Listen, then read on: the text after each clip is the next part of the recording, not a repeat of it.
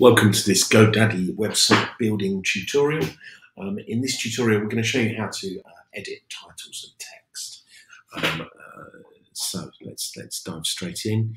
Um, I've got my mouse. I roll it over or mouse over uh, onto a title element, and you'll see that that I can uh, once it's highlighted, click in here.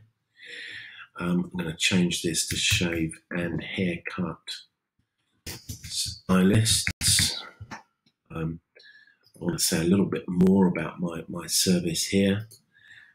We have served customers for 25 years. We only sell best quality care, hair care Um, so yeah, that's it. That's changed the title. That's changed the text. Um, if I so desired, I could put it into uh, bullet points. Um, I could change the size. I can make it bold, italicize. Whatever I want to change, I can. Now, sometimes you'll have a, a, an item on the page. So here, for instance, there's a button.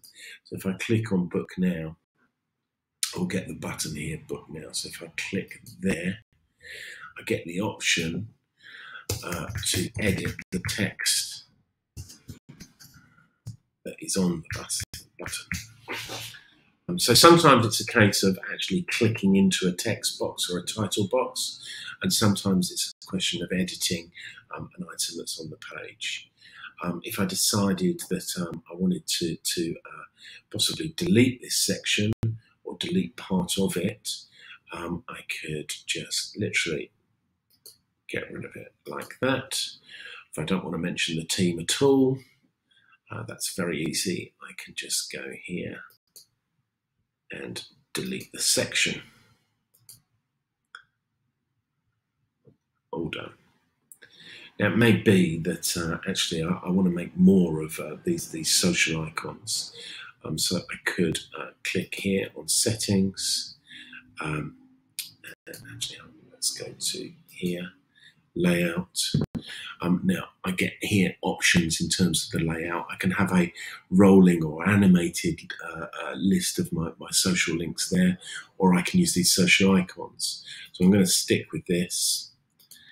Um, and then what will happen is it will give me the option to to change this. I can edit the social channels that I want to show. I can edit the links to the social channels, uh, but I might want to add in a section title um, so let's put in, let's get social, and that then appears there.